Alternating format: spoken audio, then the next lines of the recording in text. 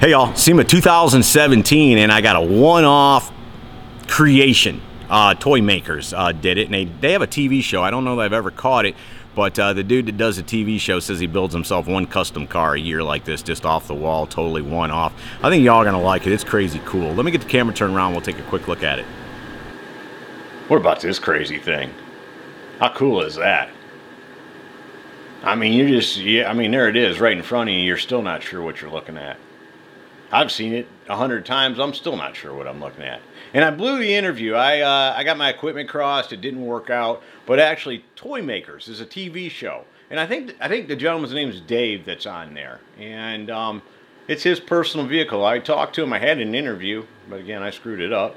And uh, he was telling me that once a year he'll have the shop build him something just off the wall, crazy cool custom that uh, he brings out here to SEMA. And this year, this is it.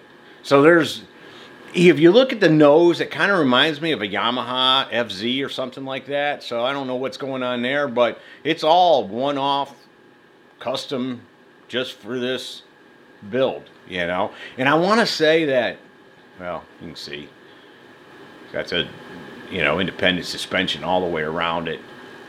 And uh, it's got a mono shock in the back, maybe a couple of them. But, um, you know, I don't. I wish I remembered if it was a big block or a small block in there. I think it's. A, I think it's a small block that's in there, but I could be wrong.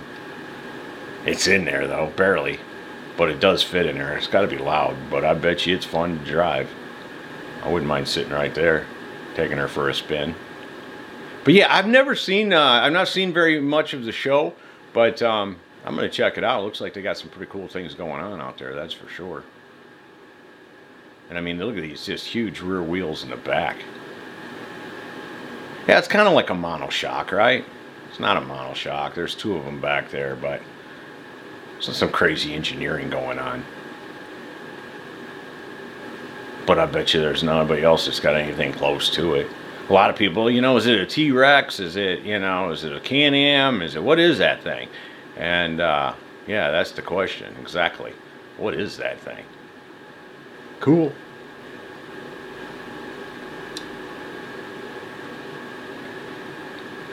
But I don't even think that there was, uh, I don't remember him telling me that there was even a name to it.